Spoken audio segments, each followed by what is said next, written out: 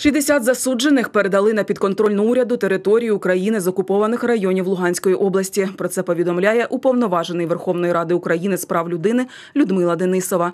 Передача відбулася у місті Щастя. Усі засуджені на момент окупації Донбасу були затримані або відбували покарання. Усі виявили бажання перевестися на підконтрольну уряду територію. 195 засуджених українців вдалося перемістити з окупованих районів Луганської області із грудня 2018 року по квітень цього року. 34 людини з них уже на волі, розповіла омбудсмен.